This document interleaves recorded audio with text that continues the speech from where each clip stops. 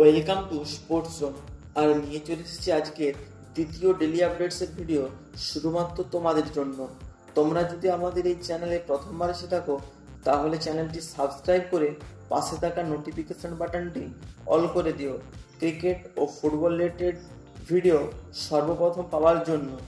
ভিডিওটি ভালো লাগলে লাইক ও তোমার বন্ধুদের সাথে শেয়ার করে দিও। এবং ভিডিওটি কেমন হয়েছে তা অবশ্যই কমেন্ট করে জানিয়ে দিও। চলো আর কথা না বাড়িয়ে আজকের ভিডিওটি শুরু করা যাক।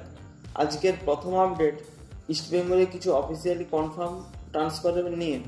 ইস্টবেঙ্গল কর্তৃপক্ষ অফিসিয়ালিভাবে কেবিন লোবো সেহনাজ সিং এবং বিকাশ জায়রো এই তিনটি প্লেয়ারকে দু বছরের জন্য নিজের দলে কনফার্ম করে নিয়েছে। অর্থাৎ এই তিনটি প্লেয়ারকে আগামী বছর লাল হলুদ জার্সিতে ইস্টবেঙ্গলে দেখা যাবে। আজকের দ্বিতীয় আপডেটটি কেরালা ব্লাস্টার্সকে নিয়ে।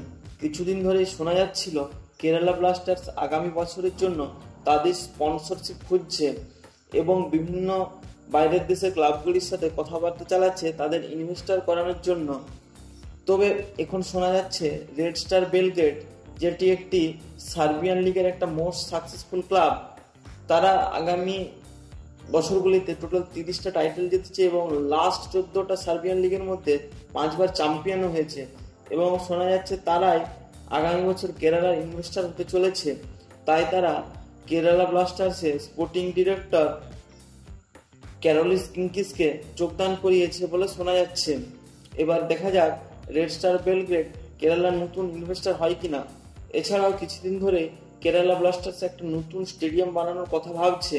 কারণ তারা বর্তমানে যে স্টেডিয়ামটাতে খেলে, জওহরলাল নেহরু স্টেডিয়াম সেটাতে কেরালা ম্যানেজমেন্টকে বেশ কিছু সম- সমস্যার সম্মুখীন হতে হচ্ছে এবং বেশ কিছু অসুবিধা ভোগ করতে হচ্ছে। তাই কেরালা ব্লাস্টার নিজেরাই একটা স্টেডিয়াম করতে চাইছে। তবে যদি এই রেড স্টার বেলগ্রেড আগামী বছর নতুন ইনভেস্টর হয় কেরালা ব্লাস্টার্সের তাহলে আগামী দু তিন বছরের মধ্যে অর্থাৎ দু হাজার কুড়ি একুশ সালের মধ্যে একটা স্টেডিয়াম বানানোর কাজ শুরু করে দেবে বলে জানিয়েছে কেরালা ব্লাস্টার্স কর্তৃপক্ষ। তারা প্রাথমিকভাবে চল্লিশ পঞ্চাশ হাজার দর্শকের সিটের স্টেডিয়াম গড়ার কথা ভাবছে এবং পরবর্তীকালে ওই স্টেডিয়ামে সিট সংখ্যা বাড়ানো হতে পারে, এরকম একটা চিন্তা ভাবনা করছে। এবার দেখা যাক কেরালা এই ব্যাপারগুলি কত তাড়াতাড়ি অ্যারেঞ্জ করতে পারে। আজকের পরবর্তী আপডেটটি শোনা যাচ্ছে, একত্রিশ বছরের নাইজেরিয়ান স্ট্রাইকার সাইমন চিংকে কে নেবার জন্য হায়দ্রাবাদ এফসি এবং চেন্নাই এফসি ইন্টারেস্ট প্রকাশ করেছে।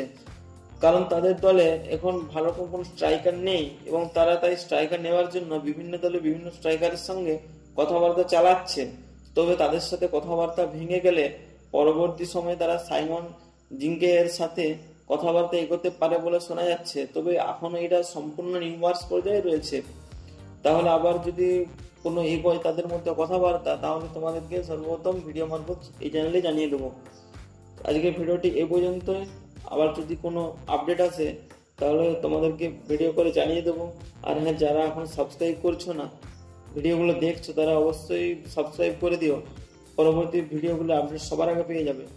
চলো, আজকের মতো ধন্যবাদ।